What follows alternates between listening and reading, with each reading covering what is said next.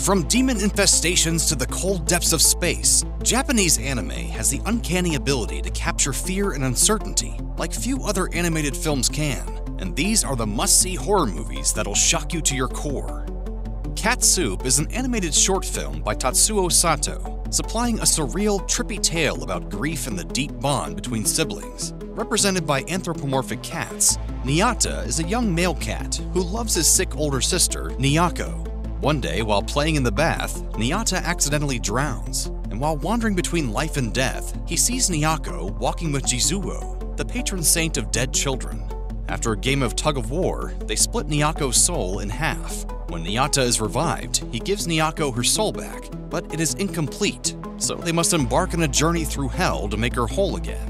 The gorgeous animation makes Cat Soup a contemplative sensory experience. What little dialogue there is doesn't do much to guide the viewer through the story. Instead, it's up to the viewer to actively engage with the journey alongside these two cats. But don't let that whimsical aesthetic fool you. Cat Soup is full of jarring imagery and violence, all the more shocking when it happens to animated cats. Yoshiaki Kawajiri made his solo directorial debut with 1987's Wicked City. The humans of Earth have struck a tenuous peace treaty with the demon realm, known as the Black World, to maintain some semblance of order. The Blackguard, a special police force made up of humans and demons, ensures that this treaty is upheld. But with the treaty about to expire, Blackguard agents, the human Taki and the demon Makie, must protect the diplomat charged with its renewal. However, a radical group of demons don't want that to happen, and Taki and Makie must use their combined abilities to protect humanity from complete destruction.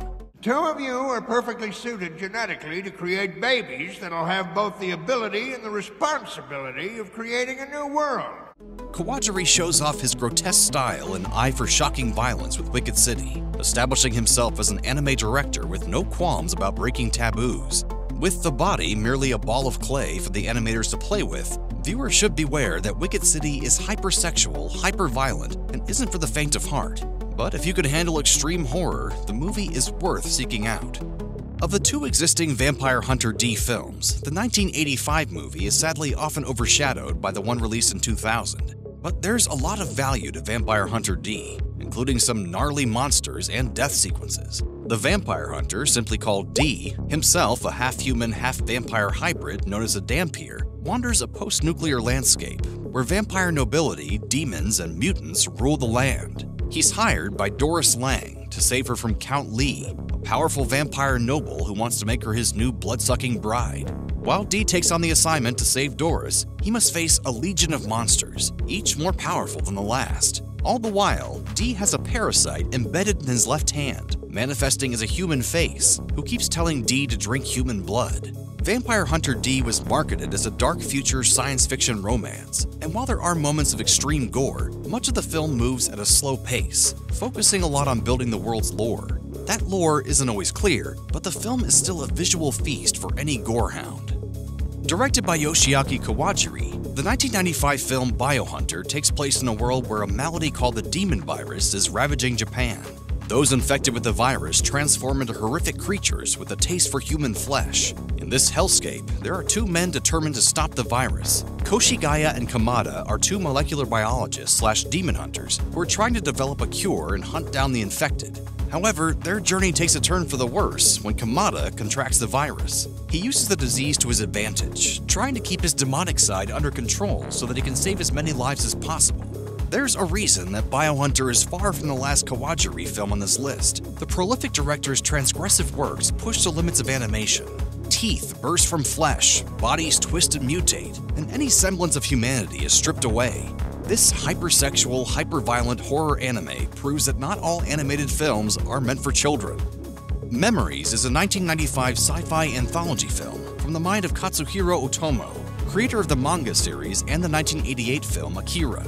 But this isn't just Otomo's project. The first story, Magnetic Rose, is directed by Koji Morimoto and written by Satoshi Kon. It follows two engineers who discover an abandoned spaceship full of decadent furnishings, and they slowly unravel the mystery at the vessel's core. Next, there's Stink Bomb, directed by Tensai Okamura and written by Otomo, which is about a man who takes the wrong pill and gives himself toxic farts. Yes, there is quite the tonal shift between stories. Finally, there's Cannon Fodder, written and directed by Otomo, about a young boy who dreams of becoming a military officer, firing cannons against a seemingly non existent enemy. These three unrelated films come together to create three very different imaginings of the future, and yet are united by gorgeous animation and thoughtful writing. These tales are psychological and haunting, focusing more on the cerebral experience of terror than visceral violence.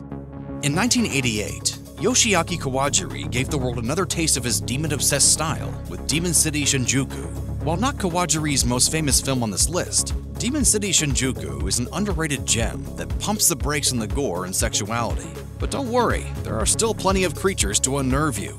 Demon City Shinjuku follows the young man Kyoya on his typical hero's journey, prowling a city full of demons while seeking revenge against the psychic Rebi Ra, the man who killed his father.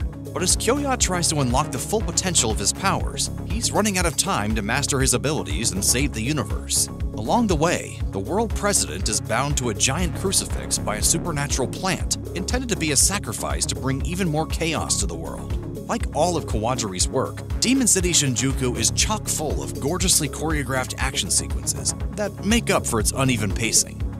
Yeon Sang-ho's 2016 animated film Seoul Station is the official prequel to the Korean hit zombie film Train to Busan, taking place at the start of the zombie pandemic. Hae-sun is a sex worker living with her deadbeat boyfriend Ki-woon, stuck in a vicious cycle of trauma and abuse. After an explosive argument at the titular Seoul Station, the two are separated by zombies. Meanwhile, Hae-sun's father, Sok-ju, is searching the city for his estranged daughter and manages to cross paths with Ki-woon, Seoul Station uses the classic narrative structure of two groups splitting up during a zombie attack, but it doesn't feel as tired as it could be, due to the gorgeous animation and the political commentary surrounding Korea's treatment of its homeless population.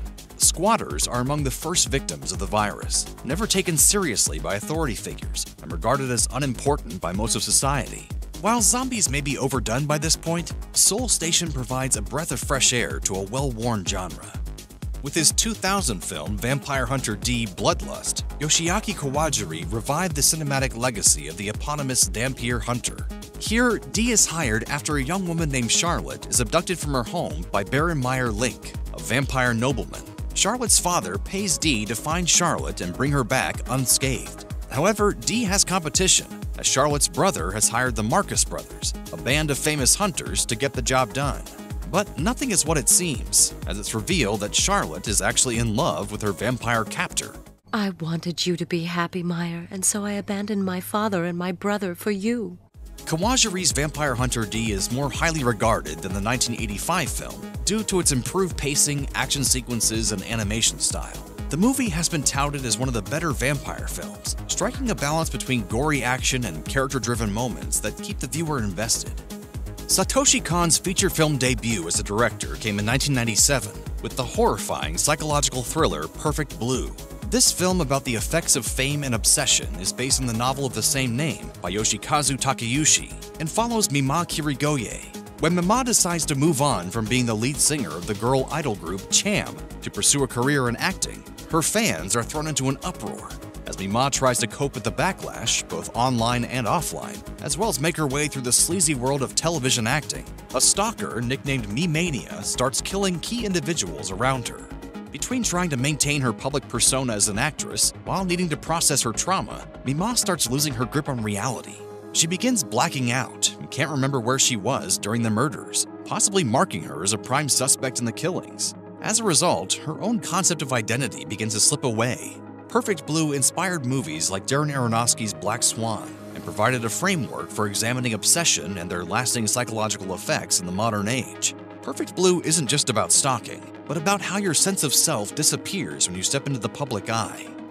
Ninja Scroll is often considered Yoshiaki Kawajiri's most influential work and is cited as one of the films that brought adult-oriented anime into the West. Released in 1993, Kawajiri pivots from futuristic demonic hellscapes to feudal Japan Though there are still demons, eight powerful ones called the Devils of Kimon, who want to overthrow the government. Wandering swordsman for hire Jubei is offered a large sum of money to learn more about these devils and to uncover their motivations. Along the way, he pairs up with the female ninja Kagero, the sole survivor of her clan. The two work together and maybe fall in love while saving the world from whatever dangerous plot lurks under the surface. The action sequences in Ninja Scroll are lush and kinetic, providing the audience with a visual feast. And much like the rest of Kawajiri's work, the movie is packed with as much shocking sex and violence as possible.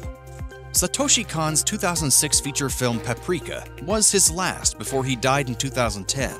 The film is a psychedelic journey through dreams that addresses the terrifying malleability of the human mind.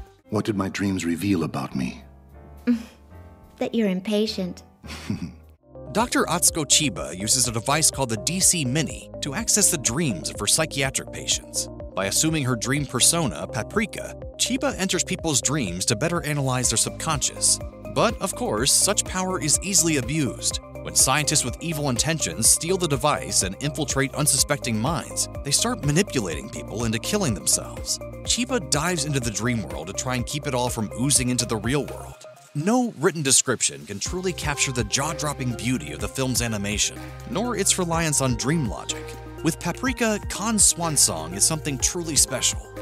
Eiichi Yamamoto's 1973 film Belladonna of Sadness is a heart wrenching masterpiece about a scorned woman who yearns for any type of control. In medieval France, Jeanne and Jean are basking in the glow of their new marriage, but it's sadly short lived when Jeanne is assaulted by a baron in a ritual ceremony. Despite it being considered a tradition, Jean can't handle the reality of it and abandons Jeanne. In her despair, Jeanne is offered powers by a phallic demon who guarantees revenge on those who have wronged her. What ensues is a never ending struggle for Jeanne to regain her bodily autonomy, but her status as a woman continually damns her to a life of torture. Jeanne's body undergoes several transformations as she tries repeatedly to become a more powerful being. Belladonna of Sadness is an agonizing but strangely alluring experience, thanks to the film's psychedelic animation representing violence against women in the abstract, instead of an excruciating realistic detail.